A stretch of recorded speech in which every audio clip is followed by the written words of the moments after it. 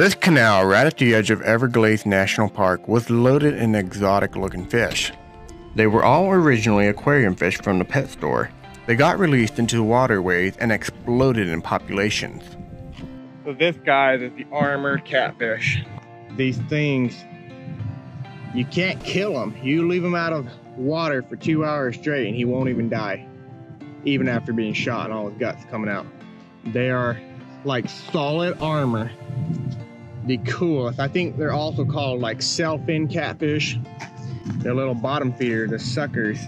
Have you ever seen those fish sucking the algae off the aquarium glass? Yep, these are the ones. And the populations are overly rampant across South Florida. These armored catfish all over here.